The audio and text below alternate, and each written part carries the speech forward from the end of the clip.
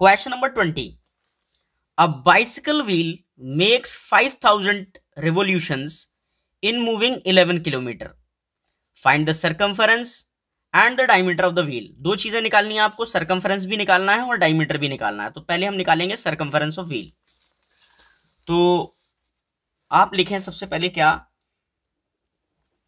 आप लिखें सर्कमफरेंस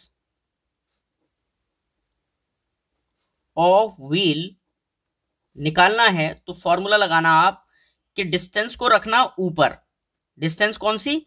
जो कवर कर रहा है कौन? व्हील उसको रखना ऊपर। और नीचे देखना क्या?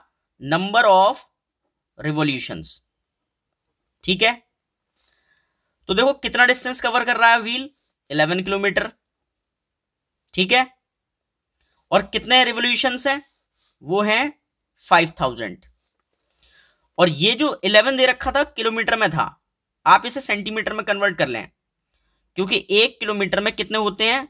फाइव ज़ीरो सेंटीमीटर तो आप क्या करें? इससे इसे मल्टीप्लाई कर दें। कितने ज़ीरो से? फाइव ज़ीरो से। तो वन के पीछे फाइव ज़ीरो तो ये आपका आंसर किसमें आ जाएगा? सेंटीमीटर में।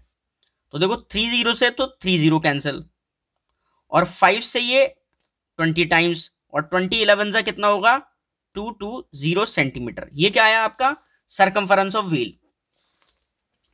तो हमने सरकमफरेंस तो निकाल दिया आप क्या निकालना है? Diameter diameter of the wheel तो आप लिखना सरकमफरेंस ऑफ़ व्हील जो है कितना आया है? 220 सेंटीमीटर। लेकिन सरकमफरेंस जो होता है उसका फॉर्मूला क्या होता है डायमीटर के केस में? पाई डी पाई डी को 220 सेंटीमीटर के इक्वल रख दें। और यहाँ से डी आप बता सकते हैं। तो पाई की value twenty two upon seven into D equals to two two zero centimetre हमें चाहिए डी तो टू ट्वेंटी के उस तरफ़ जाएगा सेवन ऊपर और ट्वेंटी टू नीचे, इतने सेंटीमीटर इससे ये टेन टाइम्स और डायमीटर हो गया टेन सेवन जा सेवेंटी सेंटीमीटर यही हमारा क्या है? आंसर चलते हैं नेक्स्ट क्वेश्चन पर।